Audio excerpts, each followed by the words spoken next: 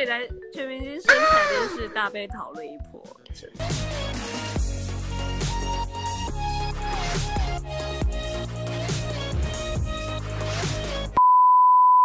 对我，如果我如果去的话，我整集都戴着王子的面具，然后脱衣服的，OK，我就不要露脸就好。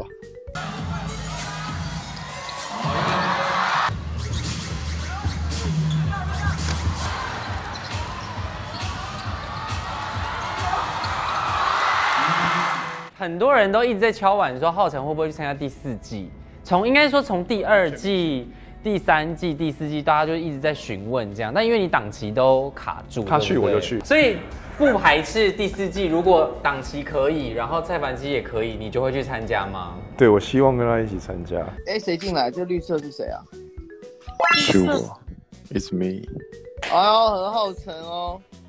进来就不要再那个了，我出去了。浩辰，浩辰在哪里？在我在我在你们身边啊。OK，出来，浩辰出来啊，继续出来。我不要出来。那我出来了，哎，出来，赶快出来。我准在出来开什。么车了？浩辰有看吗？整个有啊吗？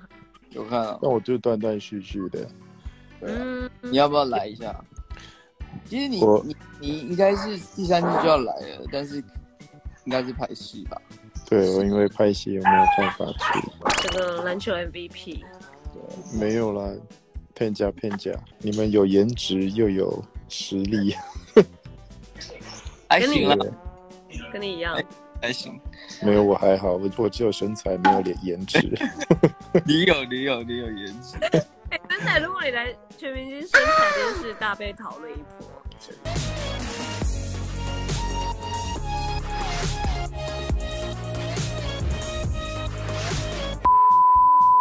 对我，如果我如果去的话，我整集都戴着王子的面具，然后脱衣服的，OK，我就不要露脸就好。宇宙很喜欢你的身材。真的假的？少这哎，何浩晨，你有看全明星？那你觉得全明星的女生哪一位是最漂亮？我觉得当然就是宇宙了。哎呦，哎，真的，状元上线了。